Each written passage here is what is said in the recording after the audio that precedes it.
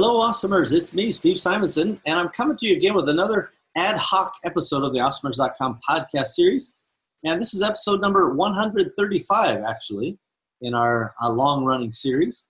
And uh, today I want to just take a minute. It's I've had trouble keeping up trying to uh, record because I've been on the road. I went to Costa Rica, then I went to Las Vegas. Uh, no, San Diego. Next week I go to Las Vegas. The week after that, uh, Prague and all of these i'm i'm doing meetups and, and hanging out with really smart entrepreneurs uh, awesomers in my world.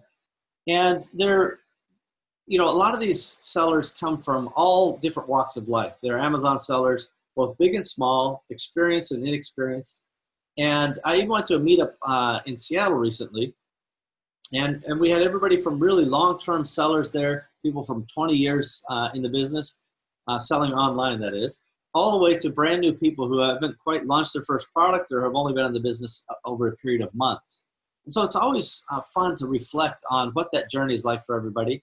And I just want to share just a couple ideas with you today uh, that I have, uh, and mostly to tell you kind of where I am going to be and what I'm going to be doing um, uh, in these coming weeks and months. So my time actually is extraordinarily oppressed, and I blame myself, frankly.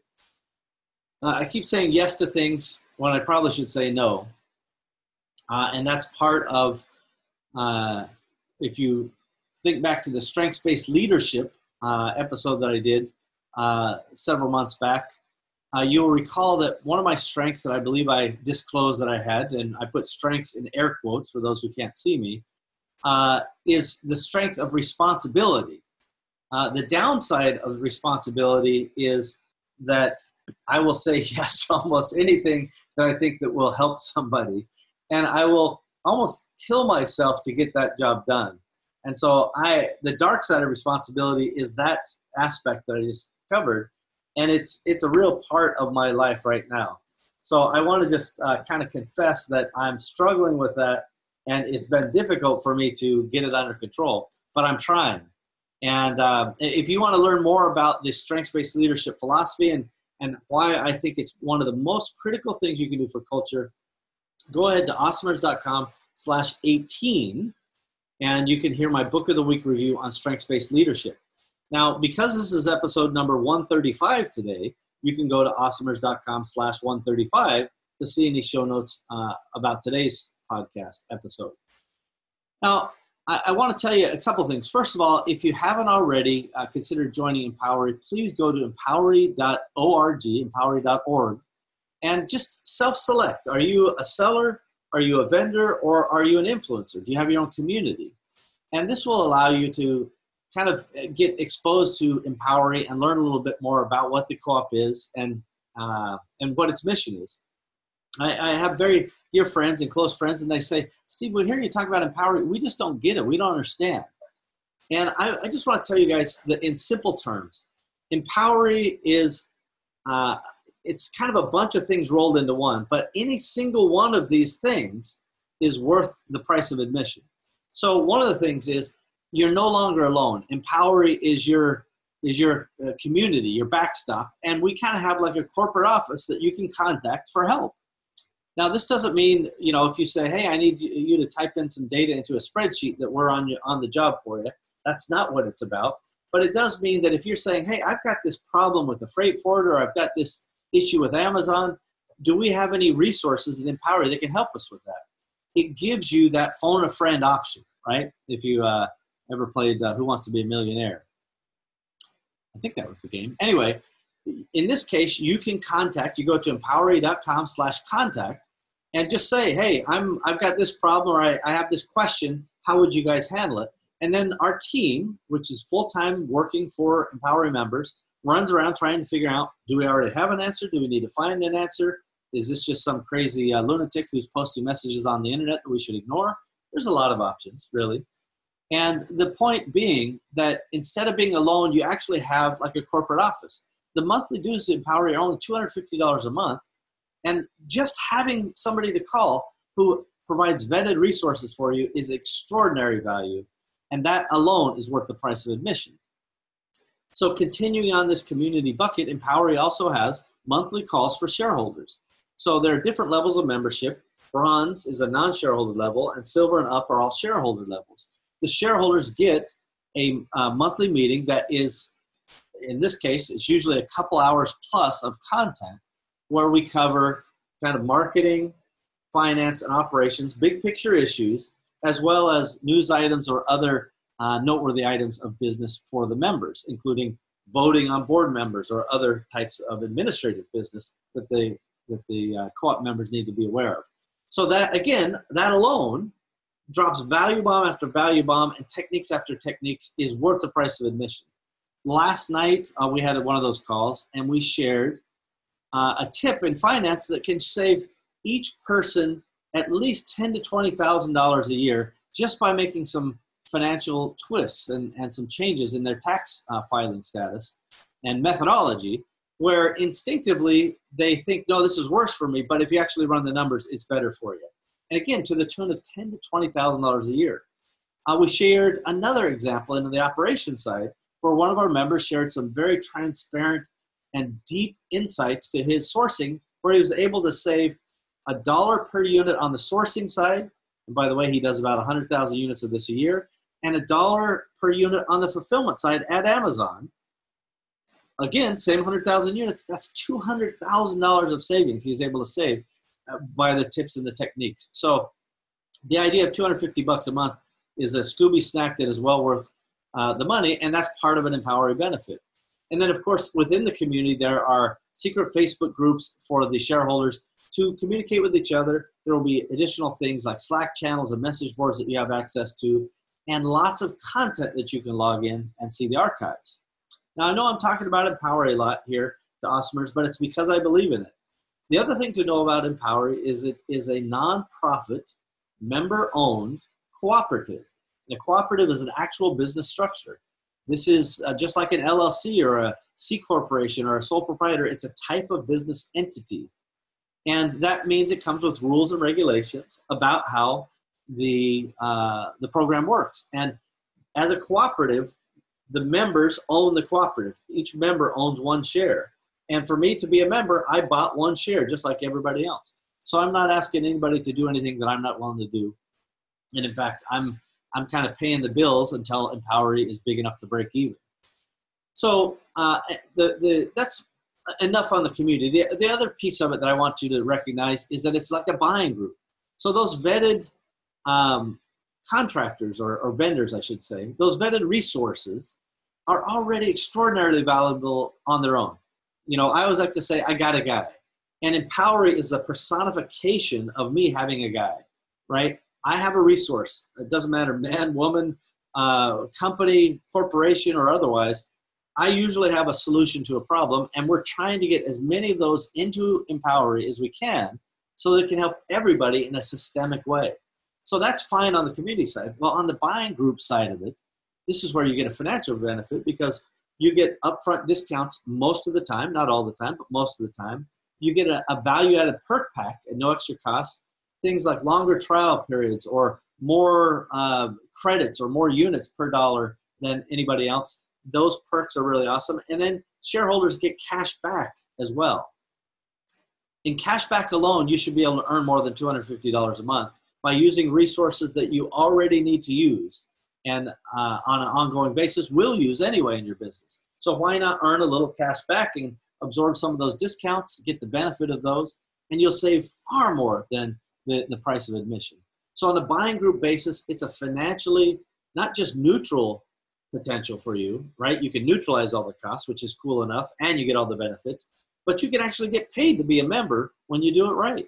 And it's it's the members who actually invest the time to focus on getting uh, set up and getting orchestrated with these uh, vendors and suppliers. That's how you get the maximum benefit. So that's the financial piece. The other piece is the influence piece. And we've talked about this from time to time. Uh, we use the example of the empowery.com slash Dear John project, uh, the empowery.com slash, I think it was uh, Amazon cheat. Let's just check it. Uh, I don't want to tell you the wrong URL. So if you go to empowery.com slash Dear John, you're going to see one um, example of you know messages that you can we'll try to communicate to Amazon and ex, you know explain why you're breaking up with Amazon. That's an example of lobbying or influence that we can have as a group. Uh, if you go to empowery.com slash cheat, this is where we were coordinating with some media talking about our concerns related to Amazon knocking off your product. Um, there are other initiatives we've taken in cooperation with the Online Merchants Guild regarding sales tax in the state of California and beyond. And this kind of lobbying and community effort is really to focus our efforts at generating positive change for e-commerce entrepreneurs around the world. So the larger we grow, the more influence we have, the more we can go to, you know, Walmart or Amazon or Target and say, hey, we want to put our members in your new program, Target. Target right now has a new marketplace. I don't know if you know that, but it's only open to curated sellers. What if we get large enough and we can go lobby Target and say, hey, let our sellers in who pass these certain criteria? Uh, usually it's a technology and a size criteria. But as a group, we can probably help overcome those things. So I'm talking really fast today. This is how you can tell I'm excited about something. So that's kind of what Empowery is. And any one of those individually is worth the price of admission and then some. I think delivering overwhelming value. But the fact that you get all of those baked into the package is really, really extraordinary. You can go to empowery.org and, and follow uh, the lines of um, you know opt-ins there and get more information. I really, really encourage you guys to get in the game.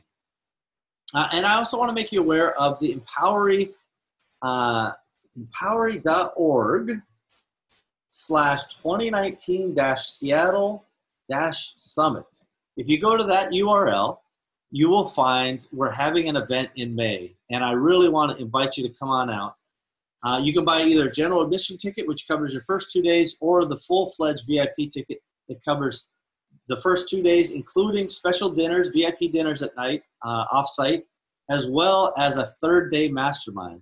And I, you know, uh, I will tell you that I expect the ROI on this to be extraordinary.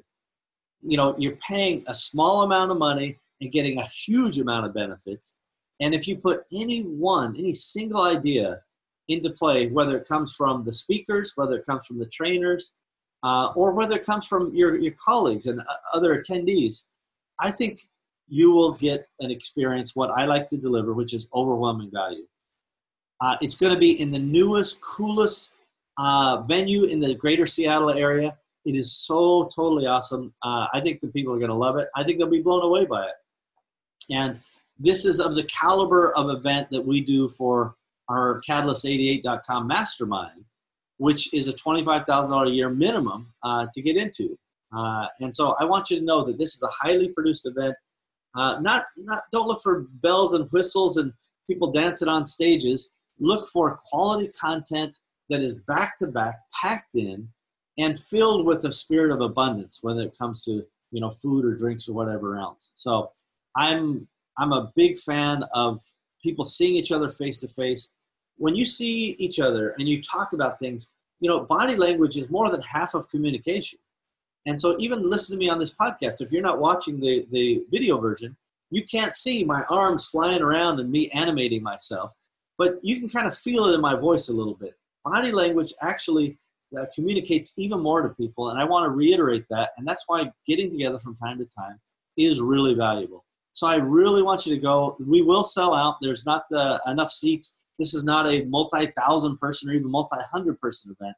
This is a you know uh, 50 to 60, 70 person. We might be able to stretch a little bit beyond that, but um, it's going to be extraordinary. And you have a chance to meet with some key vendors that can change your business for the better. Um, you know, during and right after the event, actionable steps. I'm totally into this. So um, I, I do want to make you aware that, you know, I I really do believe and I love entrepreneurs. I, I think I've, you know, delivered now, you know, 100 plus hours of free content on Awesomers and in other venues as well. I speak at uh, events regularly at no cost to uh, the event holders. Uh, sometimes I pay for my plane ticket or what have you, sometimes even my hotel. But my time is far more valuable than anything I'm charging. In fact, to Fortune 500 companies, I charge upwards of $50,000 a day for my time. And here I am on the podcast uh, talking to you, and there I go to Empowery. I'm a volunteer there. I don't uh, draw a salary, I make no money off of it. as I said earlier in the podcast, I actually cover the, any deficits that Empowery has because we don't want to put deficits on members. I'm trying to support it and be the patron until it can support itself. And that's my uh, dream and my vision, and it will happen here in 2019. So all of this has been about Empowery and how it can help you. And so I don't want you to get it uh, twisted. This is not the Empowery podcast now, but this event and these efforts are something I feel really strongly about. And I wanted to just take a moment on this episode and make a recording and talk to you about it in my own words, in my own way, uh, without distracting us with uh, PowerPoints or anything else. It's, this is just something I truly believe in. And I think in 10 years, you know, in 10 years, we have the potential to make a huge impact on this industry. Uh, in the Catalyst 88 Mastermind, when we were developing this idea of the cooperative, we asked some of the members, we said, hey, imagine in 10 years, what are some of the headlines that you would see? And guys came back with just extraordinary vision and extraordinary headlines. Things like, you know, um, Empowery uh, brings Amazon to its knees, you know, back to the bargaining table after Empowery you know, uh, flexes its muscles. And, you know, the, the vision behind that was, you know, hey, instead of Amazon always running the table on us, what if we could at least be a partner at the table? Uh, and as much as I love Amazon for, you know, 49% of what they do, there's 49% of what they do on the negative side that I don't like, and 1% is up for grabs. Uh, it's still neutral. Uh, there's, you know, nearly half of what they do I, I love, and another half, not so much. Maybe it's 2% that's up for grabs. I can't do math. Uh, the point being, I try to be a very fair um, outsider to Amazon. I, I tell you all the positive things they're doing and the lives they're, they're changing, but I also tell you the parts where they need to get better. And, uh, and I, I try to support their efforts to get better as well. So, anyway, as Amazon sellers, as e commerce sellers, as just awesomers, maybe you maybe you're just thinking about uh, joining the, the fray or you have some other idea you maybe you're an author anybody who's creating and ideating, I can just tell you, you're welcome here at Awesomers, and uh, we're all about trying to figure out how to make life better. So, thank you very much for your time. Don't forget, this is episode 135.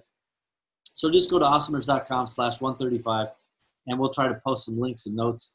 Uh, I'll be honest, because of time compression, there's we're not overbuilding these pages. We're not doing show transcripts or anything like that at the moment. We're just trying to you know, get this uh, content live and available to you in the cl- cleanest and simplest format that we can without spending too much money or time. And I hope you understand that uh, requirement. Uh, if, if you're still listening, I, I ask you to do me a favor. If you haven't already, please go subscribe on iTunes or your favorite podcasting uh, listening device, whatever it is. And go ahead and please uh, leave a review. And I'm not too ashamed to say I deserve five stars. oh, please, I need five stars. Um, the, the reviews plus subscriptions are what drive all of these platforms for rankings, right? And it's just like an Amazon product.